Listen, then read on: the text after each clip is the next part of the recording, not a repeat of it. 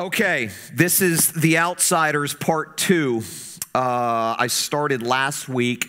This is just a two week series, and I began last week um, by talking about who we are, what we're about, what we say, why we say the things that we say here at the sanctuary. I think it's important for us to know who we are and why we exist. Uh, we don't claim to be better than everybody else, obviously. In many ways, we're worse. Uh, but we are, the, God is doing something unique here, something that I'm happy to be a part of. And so I always take a couple of weeks at the beginning of each new year to sort of describe who we are and what we're about. Uh, and this week, I want to look at Second Corinthians chapter 8. I'm going to read verses 1 through 5. 2 Corinthians chapter 8, verses 1 to 5. This is the Apostle Paul writing these things. Now, I want you to know, dear brothers and sisters, what God in his kindness has done through the churches in Macedonia. They are being tested by many troubles, and they are very poor. But they are also filled with abundant joy, which has overflowed in rich generosity. For I can testify that they gave not only what they could afford, but far more.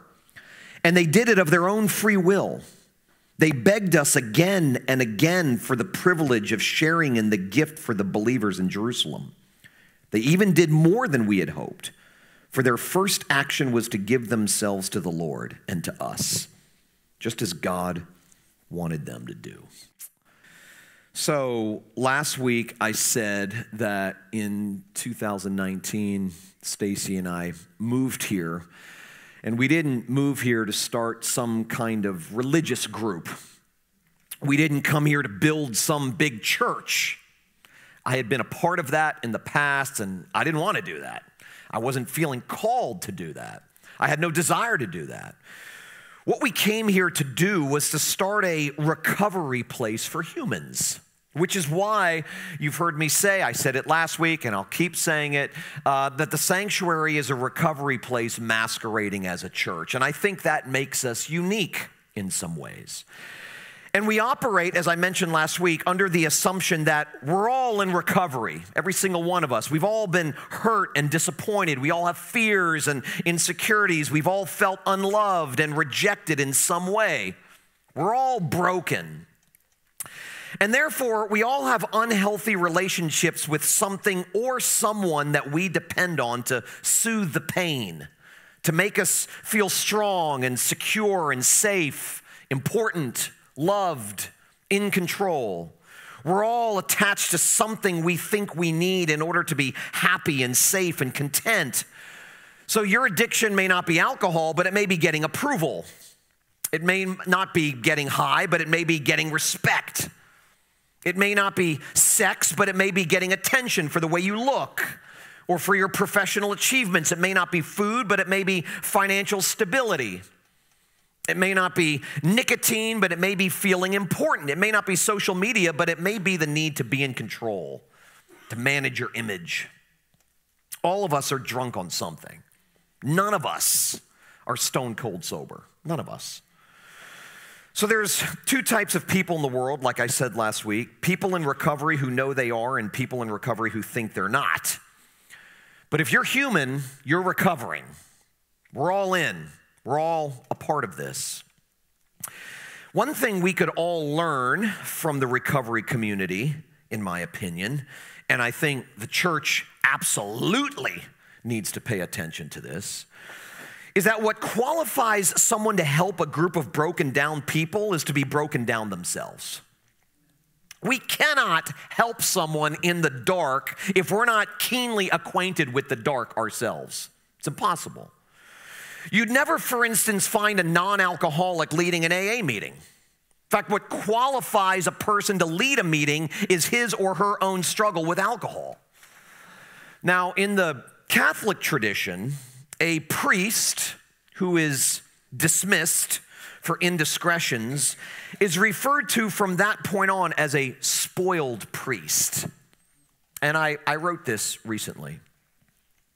What's interesting is that in some of the old Irish Catholic stories, when someone's life went off the rails, often those people would not go to the official Catholic priests for help or guidance or confession. They would seek out the spoiled priests because those men knew what it meant to be damaged goods. They were well acquainted with the darkness, they knew they were broken. It wasn't that they were still holding on to God, but that they were believing that God was still holding on to them. I love that because a spoiled priest, that's, that's who I am. And that God holds us, that is the only message you will hear from me.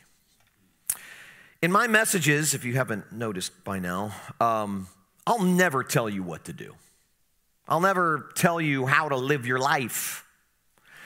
Uh, and that may seem very strange because we live in a time when self help and life coaching is all the rage. And so a lot of people think it's the job of a preacher to tell them what to do and how to live. In fact, preaching today has almost become synonymous with tell people how to live, tell people what to do. But that's not the way it's supposed to be. I mean, think about it for a minute. Most of us know what we should be doing and what we shouldn't be doing, how we should be living. And most of us know this. We're not ignorant to these things. Most of us know that we need to be better at loving others, that we need to be less distracted and more present. We know that. Most of us know that lying and stealing is bad, that adultery and selfishness and jealousy and laziness are bad. We know that stuff. Most of us know that being patient and kind and loyal and generous and empathetic and sacrificial is good, that those things are good, that those are the things we should be pursuing. We should be about those things. Most of us know that bullying and greed and pride and self pity and breaking promises are bad, that gossiping and ingratitude and rudeness isn't good. You don't need to be told that stuff, you know it. So do I.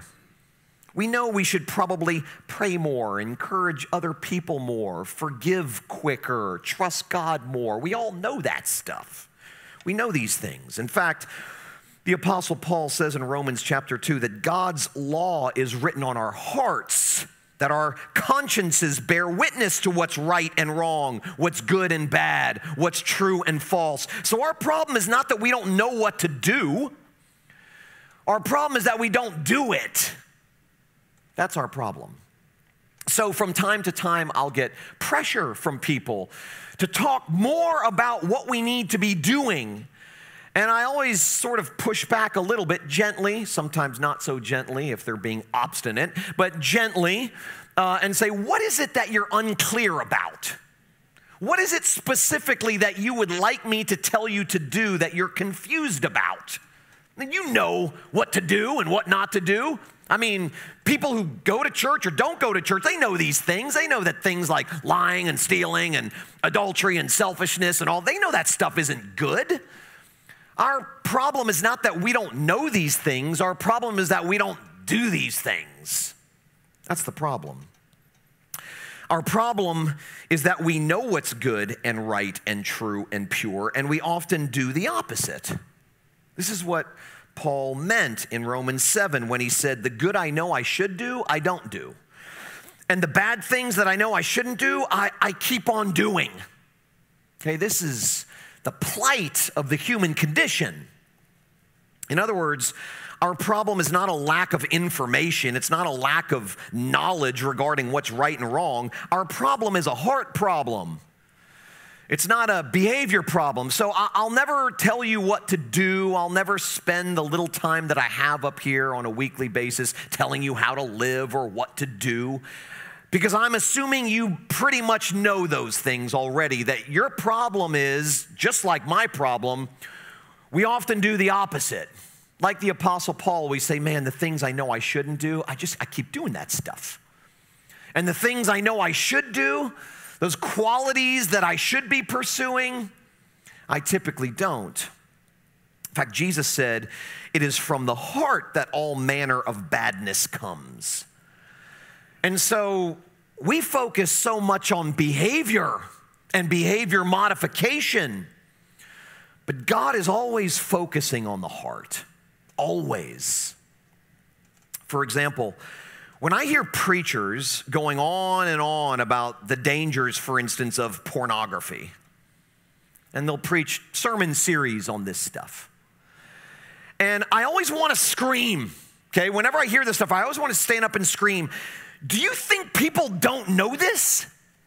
I mean, every person in this room who struggles with lust isn't confused about whether it's right or wrong. Their problem is they can't stop even though they know they need to. They feel defeated and ashamed. So just ranting and raving about bad behavior does nothing. Nothing. In fact, oftentimes it reinforces the problem. It makes people hide in darker corners. It makes people walk away. It makes people give up. Um, so here's a basic principle that you've probably already figured out but because we're so stubborn, we'll spend the rest of our lives learning this lesson. You can never change a person by telling them what to do, ever. It's literally impossible. Okay, you can never change a person simply by telling them what to do. If you believe people change by moral exhortation, you will be discouraged and frustrated constantly. Constantly. People don't change by being told that they need to change. People don't change by being educated on right and wrong. People don't change by being critiqued, called out, or corrected. That's not how change happens in the human heart. I mean, being corrected might show someone that they need to change. Correction is not a bad thing, but to assume that correction carries the power to change people is a massive misnomer. It is, uh, it's a wrong assumption. Uh, real heart change comes from hearing over and over and over again that you are loved no matter what. That's how change happens. And that's what Paul's talking about in these verses that I read, 2 Corinthians 8. He's describing the Macedonians, and apparently these people are broken down and impoverished. But Paul went there and told them about the love and grace of God for them, that they don't need to clean up their act in order to be made right with God, that they don't have to become a certain kind of person or do certain things in order to be accepted and loved by God. And that message gripped their heart. He was making it clear, Paul was, that God was always for the underdog, that he only uses broken down people because broken down people are all that there are. And that gripped their heart. And their response to that was to be incredibly generous. I love the juxtaposition of this phrase. Uh, they are, verse 2, they are being tested by many troubles and they are very poor, but they are also filled with abundant joy. I mean, those things typically don't go hand in hand. Uh, if you are being tested by many troubles and you're very poor, typically that isn't accompanied by abundant joy. But when God's love and God's grace grips your heart, not changes your behavior, grips your heart, things start to change without you even trying. Um, Paul describes the Macedonians' response to grace in terms of freedom and spontaneity and, and joy. It was love that changed their hearts, which led then to instinctive, reflexive, and spontaneous generosity. It wasn't Paul saying, hey, listen, man, you guys are being pretty stingy with the few pennies you have. Don't you understand that all that you have comes from God? You should be giving to God's work. He didn't say any of that stuff. He just told them about God's amazing grace and God's love, God's generosity toward them. And then he left the results up to God, whatever God wanted to do with that stuff. Uh, he wasn't trying to change them. You know, the best preaching is not here's what's wrong and here's what you need to do about it. Okay, that's a lot of preaching these days. Here's what's wrong and here's what you need to do about it. Here's what's wrong with your relationships and here's what you need to do about it. Here's what's wrong with your life and here's what you need to do about it. Here's what's wrong with our country and this is what you need to do about it. I mean, the, the best preaching is not here's what's wrong and here's what you need to do about it, but rather here's what's wrong and here's what God has done about it for you and then just leaving it there. Anything that a preacher says or implies after it is finished is an exercise in unbelief. It's like, I don't trust that those potent, powerful words and the reality that those words convey has power to do anything, so I have to add to it. When I was in graduate school, in one of my preaching classes, I remember a, a professor saying, as a preacher, it's your job to unpack and explain the text. Uh, and while that's an important part of preaching, preaching really doesn't become preaching until you apply it, call for application. And at the time, I thought that was, you know, that that was right and true. Now I realize that's ridiculous. Uh, the only application I care about is the application of God's love to us not some application of what I should go out. We know that stuff. We know that things like love and joy and peace and patience and kindness and gentleness are all good things. We know that those are the things we should be about. Our problem is that we oftentimes don't do that stuff. We look at our lives and we're like, we're, we're not those kinds of people. We should be. And I feel guilty and ashamed that I'm not. But man, the struggle's real. And I just can't seem to pull it off. I can't do this stuff. The things that I know I should do, I don't do. And the things that I know I shouldn't do, those are the things I keep on doing. And then Paul concludes uh, by saying, Oh, wretched man that I am, who will rescue me from this body of death? Honesty, radical self awareness that the Apostle Paul had. So, the only message that brings about heart change is here's what's wrong. Here's what's wrong with you. Here's what's wrong with me. Here's what's wrong with this world. Here's what's wrong with your relationships. Here's, here's what's wrong.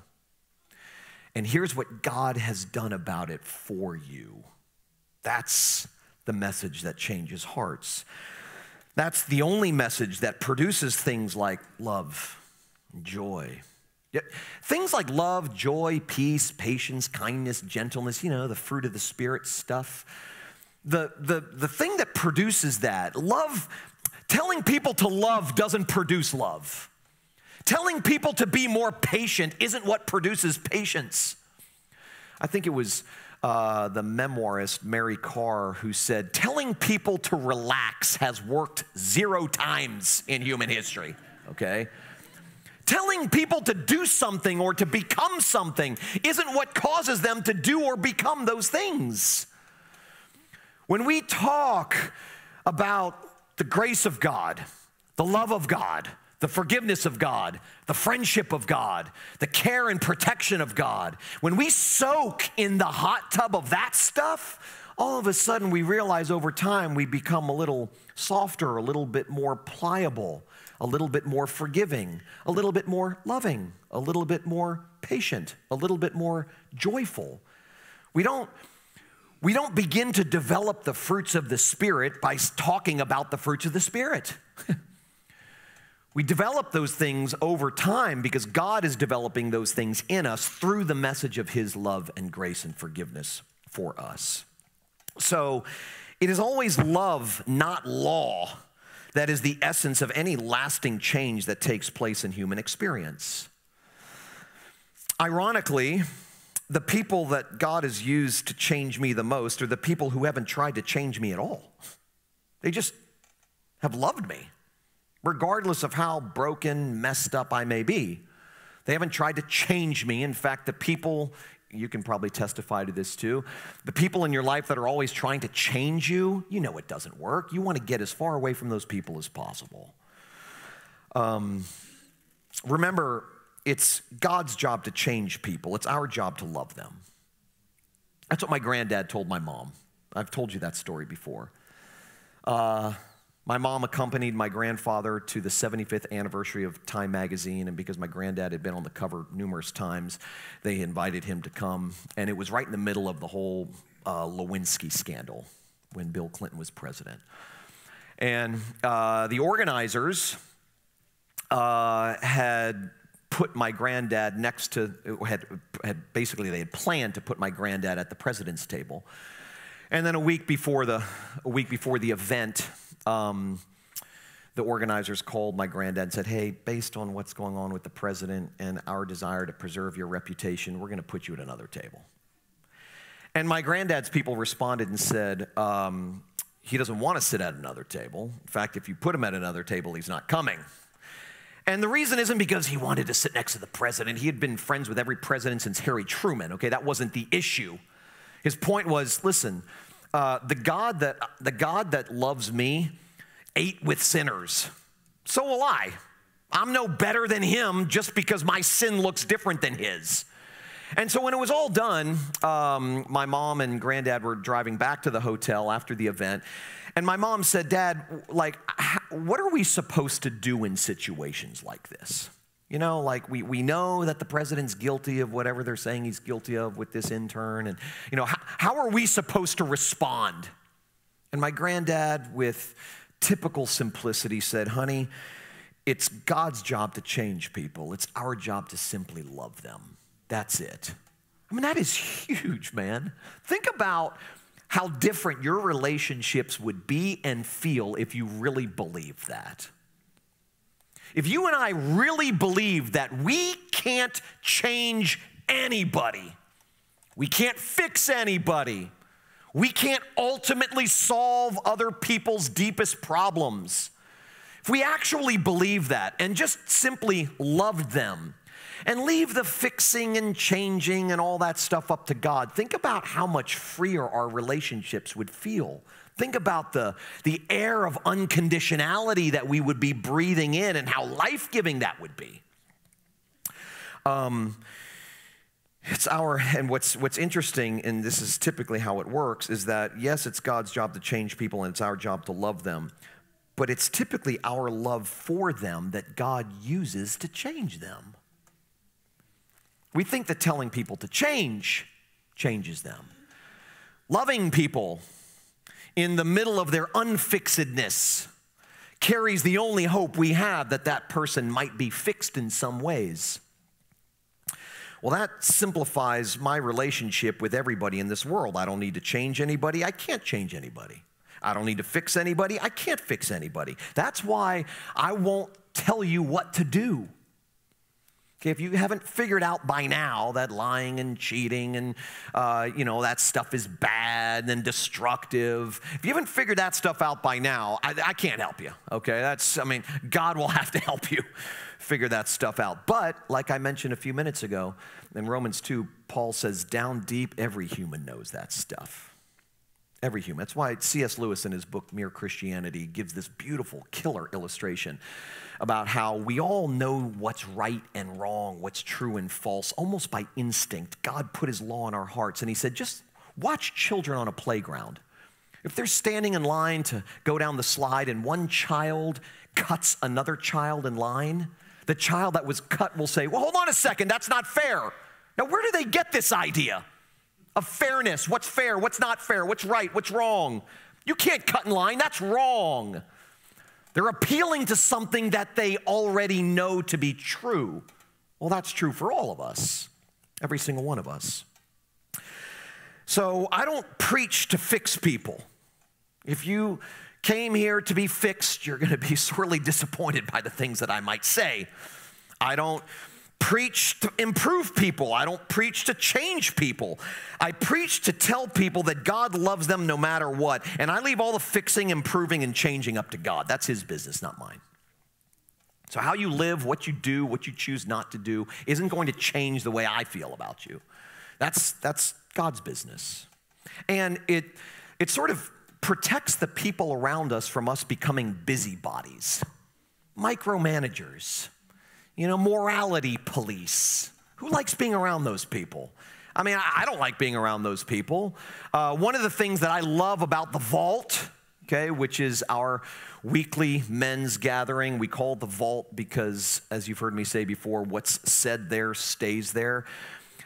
I have discovered that the primary purpose of the vault is for me, okay? I didn't think that was the primary purpose when it started, but I leave there feeling so free and feeling so alive because I can come undone and nobody blinks. Nobody's giving advice. Nobody's correcting. Nobody's trying to solve problems. They're just listening and giving me a space to be me in all of my brokenness. And that's true for the other guys that go. So I, I, um, I think this truth protects us and protects the people around us from us becoming busybodies, constantly trying to tinker and tweak with the people around us to make them more of what we want them to be. I've said this before, but every attempt on our part to fix someone else is ultimately an attempt to fix ourselves. What we're saying is, I need you to become a certain way if I'm going to be happy. I need you to become a certain way if I'm going to feel safe and secure. And that doesn't work. We don't fall in love with people who say, Love me better. We fall in love with people who say, I love you no matter what. That's how love is birthed. That's how love happens. Um, so, if your goal for people is to improve them, to change them, to fix them, they won't be improved, changed, or fixed. In fact, you'll end up pushing them away. Because, like I said, none of us like being around anyone who's always trying to fix us, always giving advice, always offering solutions when we come to them with problems. There's a reason why Proverbs says, Be quick to listen and slow to speak. Or, as John Stott once said, God gave us two ears and one mouth so that we would listen twice as much as we talk and yet we're constantly wanting to solve problems. Someone comes to us with a problem, someone comes to us and unburdens themselves because of something that they're feeling that's causing guilt or shame or whatever, and we immediately jump into counselor mode, advising. And to be honest with you, when people do that with me, it makes me feel so much less than. I'm like, I'm not looking for you to solve all my problems as if you've got it all figured out. There's an air of self righteousness that exists in people who are constantly giving advice. Constantly. Um, just listen, give people the space to unburden themselves, to tell the truth about themselves. And when the truth that they disclose is haunting, don't blink, don't walk away, don't leave. Um, but if your goal is to love people no matter what, you might just discover that loving them does improve them a little bit. That loving them does change them a little bit. That loving them does fix some things about them. But then again, maybe not. That's God's business, not ours. Ours is to simply love. It's God's business to do what He wants with that. Change is always the fruit of love, not the other way around. Our world and oftentimes our relationships work in the wrong direction.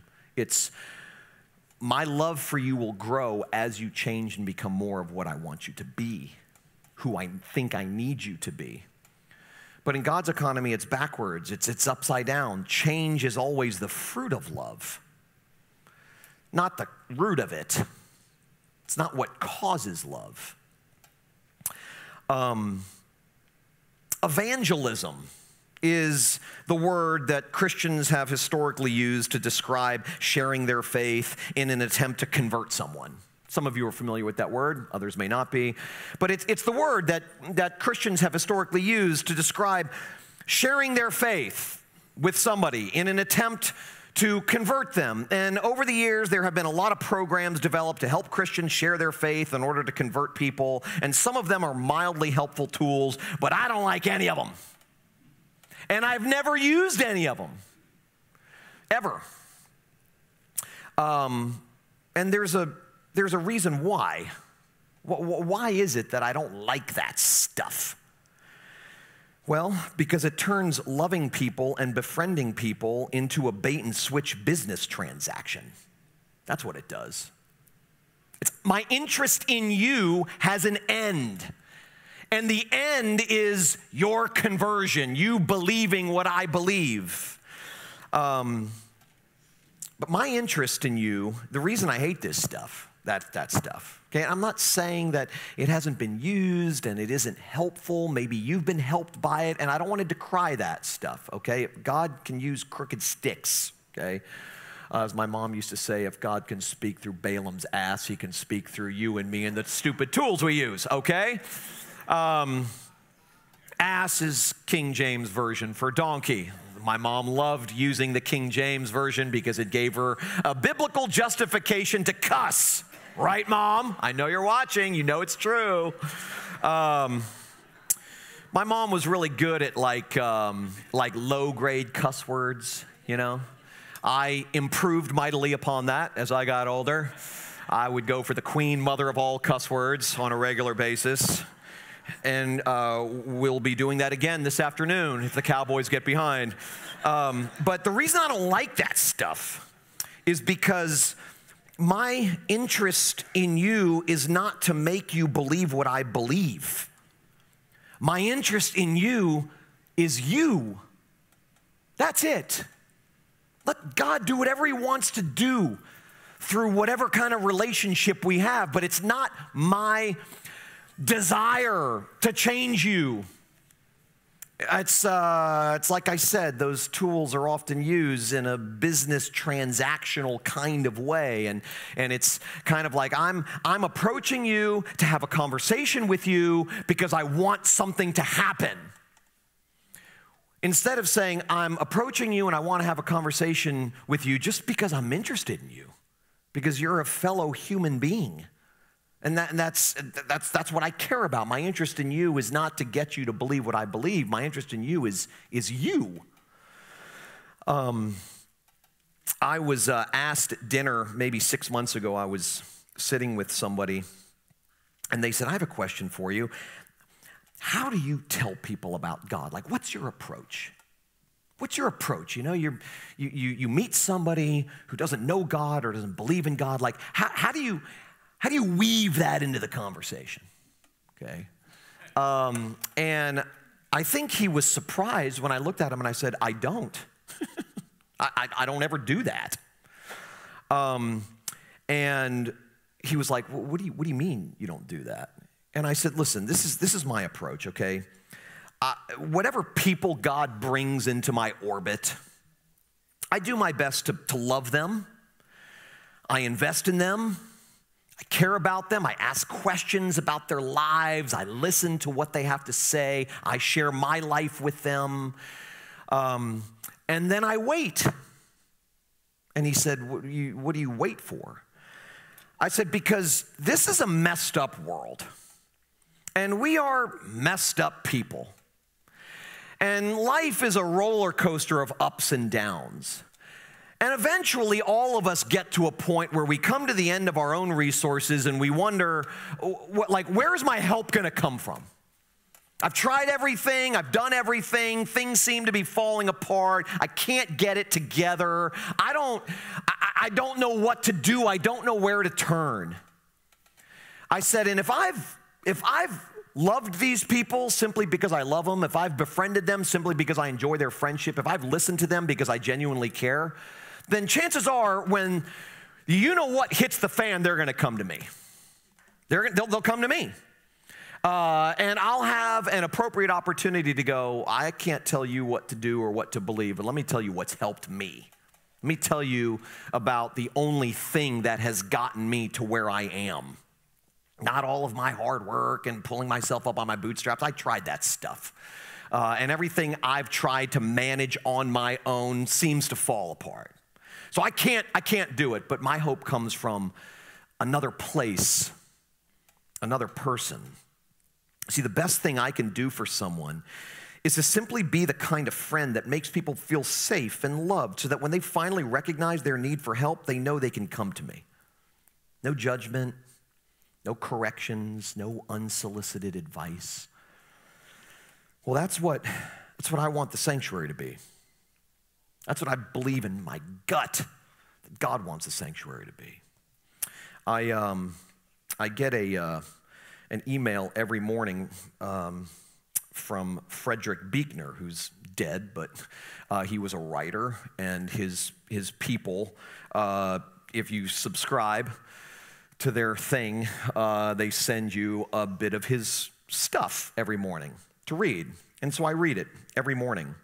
Um, and this is what, and I want to close with this. This is this comes from a book of his called Whistling in the Dark. And this is what he said.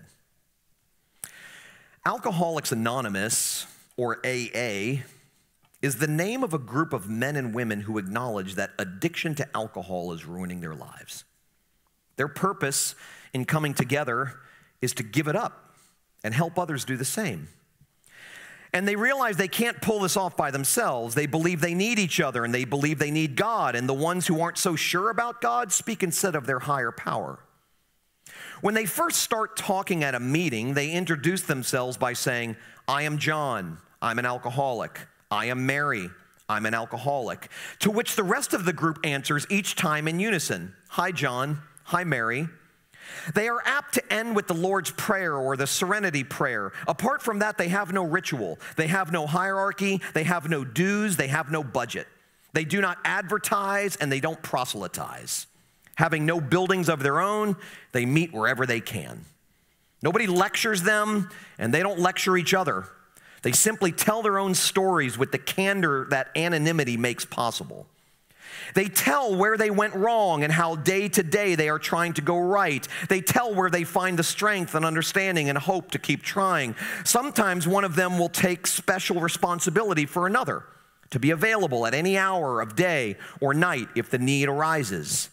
There's not much more to it than that, and it seems to be enough. Healings happen. You can't help thinking that something like this is what the church is meant to be and maybe once was before it got to be big business. Sinners Anonymous. I can will what is right, but I cannot do it, is the way St. Paul put it, speaking for all of us. For I do not do the good I want, but the evil I do not want is what I keep on doing. I am me. I am a sinner. Hi, you. Hi, every Sadie and Sal. Hi, every Tom, Dick, and Harry. It is the forgiveness of sins, of course. It is what the church is all about. No matter what far place alcoholics end up in, either in this country or virtually anywhere else, they know that there will be an AA meeting nearby to go to. And that at that meeting, they will find strangers who are not strangers to help and to heal, to listen to the truth and to tell it. That is what the church should be about. Would it ever occur to Christians in a far place to turn to a church nearby in hope of finding the same? Would they find it? If not, then you have to wonder what is so big about the church's business? Whew. I read that this morning and I thought, that's just perfect. That's who I want us to be. It's the only thing I want us to be, honestly. Um, there, are, there are places where you can go and get involved in this program or that program. There are churches whose doors are open every night of the week so that you can do the things that they do, the program, participate in the programs that they have. And I'm not decrying any of that stuff. That's just not who we are. uh, we have groups like this, like the one that Frederick Buechner described. We have groups like this that meet here on a regular basis throughout the week. And then we gather here on Sunday mornings. This is the largest recovery group in our church. Sunday mornings is the largest recovery group in our church. We meet in smaller packs with other people throughout the week, but this is, this is who we are.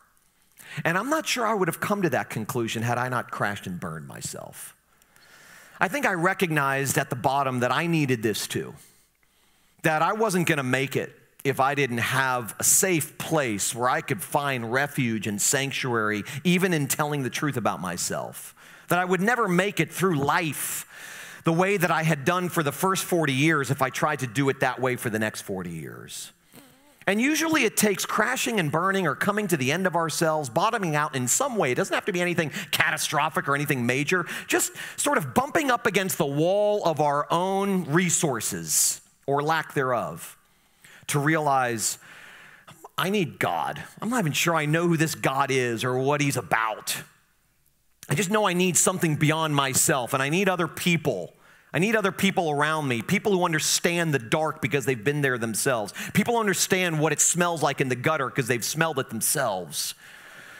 Those are the people that I want to be around. Those are the people that I need to be around. Those are the people that we all need to be around. So, as I said last week, the difficult thing is not um, being there for people who know they're in recovery. It's convincing people who think they're not in recovery that they actually are, that they're weaker and more frail than they think they are, um, that they're more prone to selfishness than they think they are, that they're not as valiant as they think they are, that they're not as strong and capable as they think they are. There is so much freedom in finally accepting our limitations, finally admitting the hard truth about ourselves that we can't make it on our own. There is so much freedom in that, which is a direct connection to what Jesus himself said. I have come, my whole mission, the whole reason I have come is to set people free. So if you ask yourself, well, what is God doing in my life? I know you might be asking that because you're facing some decisions or there are certain things that you're trying to figure out. I, I, get that. But ultimately, what God is doing in your life, and He's doing the same thing in all of our lives, is setting us free. And the reason that tends to be a painful process is because He has to first convince us of those areas in which we're not free. And we struggle against that.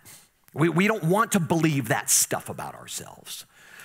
Um, and yet, God loves us too much to let us believe a delusion. And so he gets us to the point, maybe even allows circumstances in our lives to get us to the point where we realize I'm, I'm weaker than I thought I was. I don't love the way I ought to. I'm impatient. Uh, it doesn't have to be, like I said, anything catastrophic. It can just be this I'm, I'm just not, there's something missing. And no matter how hard I try to fill those voids in my life, they just keep getting deeper and darker. I need help. That's ultimately what prayer is. It's simply saying, help. We need that. I need it. Let's pray together. God, thank you for your mercies, which are new every morning. I'd be screwed without it. In Jesus' name, amen.